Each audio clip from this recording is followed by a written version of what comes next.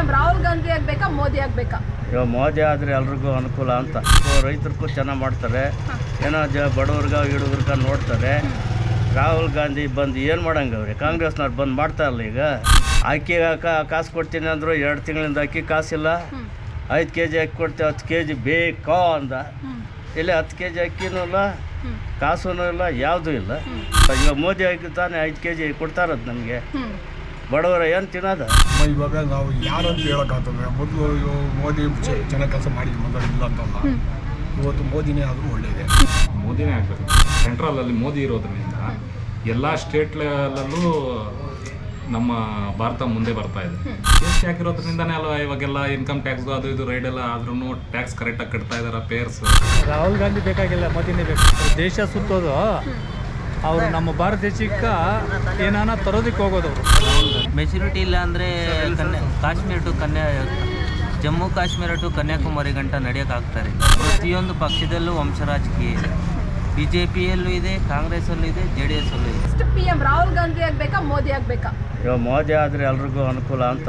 ಅಂದ್ರೆ ಯಾಕೆ? ರೈತರಿಗೂ ರೈತರಿಗೂ ಚೆನ್ನಾಗಿ ಮಾಡ್ತಾರೆ. ಏನೋ ಜ ಬಡವ್ರಿಗ ಹಿಡುಗ್ರಿಗ ನೋಡ್ತಾರೆ.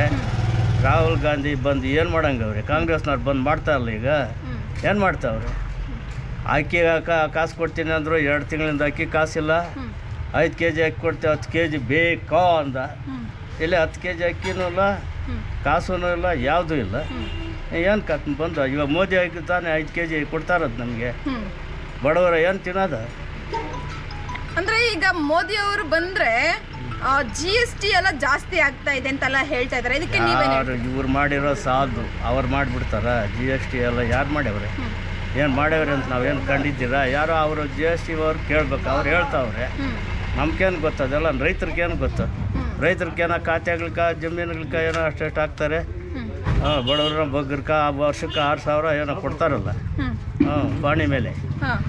ಹಾಂ ಇನ್ನೇನು ಮಾಡಿದ್ದಾರೆ ಪಾಪ ಬರಗಾಲಕ್ಕೆ ಅಂತೇಳಿ ಬೇಕಾದಷ್ಟು ಕೊಡ್ತಾರೆ. ಸರಿ ಈಗ ರೈತರಿಗೆ ಇರೋರ್ಗೇನೋ ಕೊಡ್ತಾರೆ ಜಮೀನು ಇರೋರ್ಗೆಲ್ಲ ಪಾಣಿ ಮೇಲೆ ಕೊಡ್ತಾರೆ ಬಟ್ ಇಲ್ದಿರೋರ್ಗೆ ಏನಾಗ ಇಲ್ದಿರೋರು ಏನು ಮಾಡ್ಬೇಕು? ಇಲ್ಲಿರೋರ್ಗೆ ಪೆನ್ಷನ್ ಅದು ಇದು ಕೊಡ್ತಾರಲ್ಲ ಕಾಸು. ಸಾವಿರ ಮೂರು ಸಾವಿರ ಸೊ ನಿಮಗೆ ಒಟ್ಟಾರೆಯಾಗಿ ಇವಾಗ ಯಾರು ಬೇಕು ಅಂತ ಹೇಳ್ತೀರಾ? ಮೋದಿನೇ ಬೇಕು ಅಷ್ಟೇ. ಪ್ರಧಾನಿ ಆದರೆ ಒಳ್ಳೆಯದು ಮ ಇವಾಗ ನಾವು ಯಾರಂತ ಹೇಳೋಕ್ಕಾಗ್ತದೆ? ಮೊದಲು ಮೋದಿ ಚೆ- ಚೆನ್ನಾಗಿ ಕೆಲಸ ಮಾಡಿ ಮೊದಲು ಇಲ್ಲ ಅಂತಲ್ಲ. ಇವತ್ತು ಮೋದಿನೇ ಆದರೂ ಒಳ್ಳೆಯದೇ ಮೋದಿ ಬಂದರೆ ಪಿ ಎಂ ಅಲ್ಲಿ. ಇಲ್ಲಿ ಯಾರನ್ನ ಸ್ಟಾರ್ಟ್ ಸ್ಟೇಟಲ್ಲಿ ಇದು ರಾಜ್ಯದಲ್ಲಿ ಅಲ್ಲಿ ಮಾತ್ರ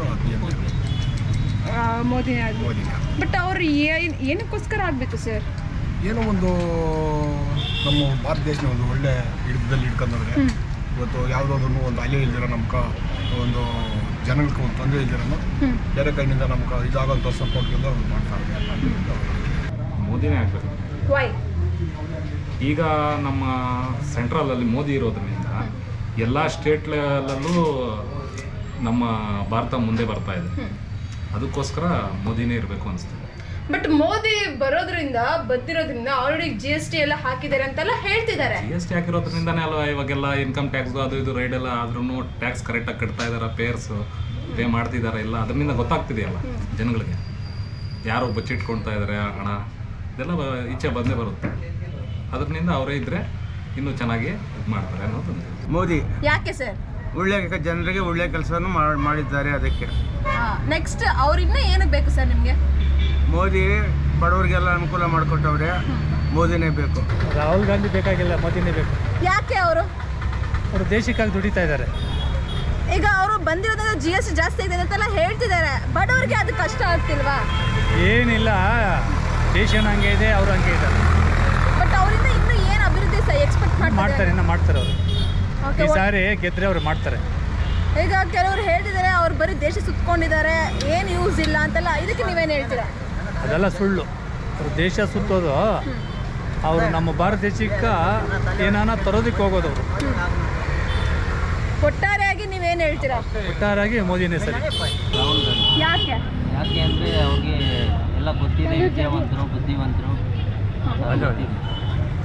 ಸರ್ ಈಗ ರಾಹುಲ್ ಗಾಂಧಿ ಅವ್ರಿಗೆ ಇನ್ನು ಏಜ್ ಸಾಲದು ರಾಜಕೀಯದಲ್ಲಿ ಅನುಭವ ಸಾಲದು ಅಂತ ಹೇಳ್ತಿದ್ದಾರೆ. ಇದಕ್ಕೆ ನೀವೇನು ಹೇಳ್ತೀರಾ? ಅನುಭವ ಸಾಲದು ಅನ್ನೋದಕ್ಕಿಂತ ಪ್ರಧಾನಿ ಅವರು ಇವಾಗ ಒಂದು ಪ್ರೆಸ್ ಕಾನ್ಫರೆನ್ಸ್ ಕರೆದು ಮಾತಾಡಿದ್ರು. ಅವ್ರಿಗೆ ಯಾವ ಅನುಭವ ಇದೆ ಅಂತ ತಿಳ್ಕೊಬೇಕು. ಅವ್ರಿಗೆ ಇನ್ನೂ ಏನಾದರೂ ಒಂದು ಅಭಿವೃದ್ಧಿ ಮಾಡೋದಕ್ಕೆ ಇನ್ನೂ ಅವ್ರಿಗೆ ಸಹ ಒಂದು ಅಷ್ಟೊಂದು ಮೆಚುರಿಟಿ ಇಲ್ಲ ಅಂತ ಹೇಳೋದು. ಯಾರಿಗೆ? ರಾಹುಲ್ ಗಾಂಧಿ ಅವ್ರಿಗೆ. ಮೆಚುರಿಟಿ ಇಲ್ಲ ಅಂದರೆ ಕನ್ಯಾ Kashmir to Kanya Jammu Kashmir to Kanyakumari ಗಂಟ ನಡೆಯೋಕ್ಕಾಗ್ತಾರೆ ಅಷ್ಟು ಜನ ಎಲ್ಲ ಪ್ರತಿಯೊಂದು ರಾಜ್ಯದಲ್ಲಿ ಹೋಗಿ ಪಾದಯಾತ್ರೆ ಮಾಡಿ ಅವ್ರೇನು ಏನು ಅಂತ ತೋರಿಸಿದ್ರು. ಸರ್ ಬಟ್ ರಾಹುಲ್ ಗಾಂಧಿ ಅವ್ರಿಗೆ ಏನದು ಇನ್ನೂ ಒಂದು ಆ ಅನುಭವದ ಜೊತೆಗೆ ವಂಶ ರಾಜಕೀಯ ಆಗ್ಬಿಡುತ್ತೆ ಅಂತೆಲ್ಲ ಹೇಳ್ತಾರೆ ಪ್ರತಿಯೊಂದು ಪಕ್ಷದಲ್ಲೂ ವಂಶ ರಾಜಕೀಯ ಇದೆ. ಬಿ ಜೆ ಪಿಯಲ್ಲೂ ಇದೆ ಕಾಂಗ್ರೆಸ್ಸಲ್ಲೂ ಇದೆ ಜೆ ಡಿ ಎಸ್ಸಲ್ಲೂ ಇದೆ. ಇಂಥ ಪಕ್ಷದಲ್ಲಿ ಇಲ್ಲ ಅನ್ನೋಂಗಿಲ್ಲ. ಪ್ರತಿಯೊಂದು ಪಕ್ಷದಲ್ಲಿ ರಾಜಕೀಯ ಇದೇ ಇದೆ. ಇವಾಗ ಅಮಿತ್ ಶಾ ಮಗ ಅವರು ಏನು ಓದಿದ್ದಾರೆ? ಕ್ರಿಕೆಟಲ್ಲಿ ಅಧ್ಯಕ್ಷರು. ನ್ಯಾಷನಲ್ ಏನಕ್ಕೆ ಇಂಡಿಯಾ ಅಧ್ಯಕ್ಷರು ಏನು ಓದಿದ್ದಾರೆ, ಯಾವ ಮೆಚುರಿಟಿ ಮೇಲೆ ಅವ್ರು ಕೊಟ್ಟಿದ್ದಾರೆ ಪ್ರತಿಯೊಂದರಲ್ಲಿ ರಾಜಕೀಯ ವಂಶ ಇದ್ದೇ ಇರುತ್ತೆ.